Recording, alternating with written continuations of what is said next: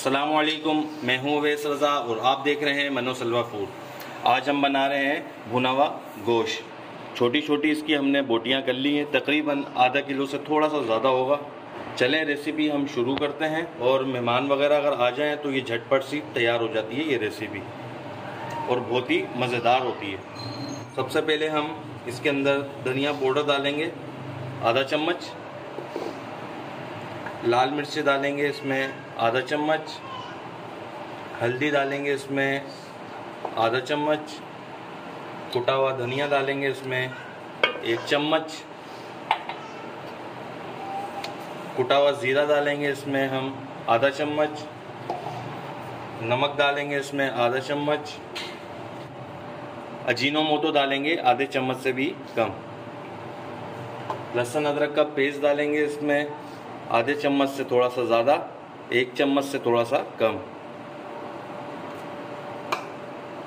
हरी मिर्च का पेस्ट डालेंगे इसमें एक चम्मच।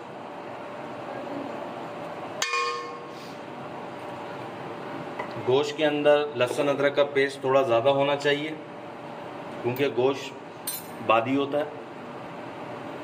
इसके अंदर हम डालेंगे आधी कटोरी ऑयल की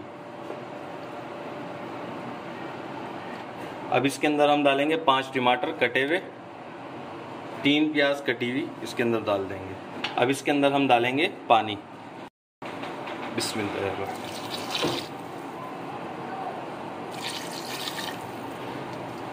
पानी हमने दो गिलास डाला था, अब इसे हम चूल्हे पे चढ़ा देंगे।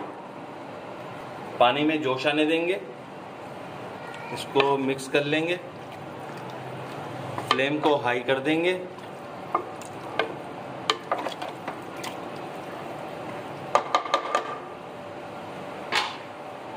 पानी में जब जोश आ जाएगा तो उसकी आँच सिलो कर देंगे, फिर इसे हम ढक के पका लेंगे। ये देखिए, माशाल्लाह, हमने जो इसके अंदर पानी डाला था, वो खुशक हो चुका है।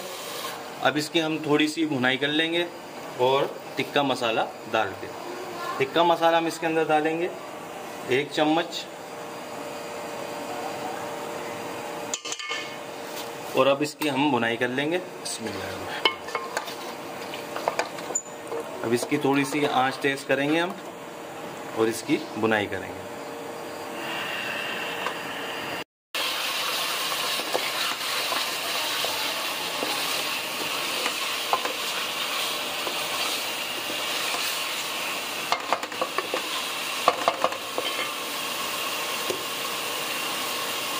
ये देखिए, माशाल्लाह, हमने इसको पाँच मिनट के लिए भून लिया था, अब इसे हम डिश आउट कर लेते हैं। ये देखिए, माशाल्लाह, हमने इसे डिश आउट कर लिया कितना मज़ेदार तैयार हुआ है। इस रेसिपी को ज़रूर अपने घर में ट्राई करिएगा। कमेंट में बताइएगा कि कैसी तैयार हुई है। अगर आपको हमारे ये भुने हुए गोश्त की रेसिपी पसंद आई हो तो इसे लाइक करिए सब्सक्राइब करिए और शेयर करिए। दुआओं में याद रखिएगा। मुझे दीजिए इजाज़त। अल्लाह हाफिज़।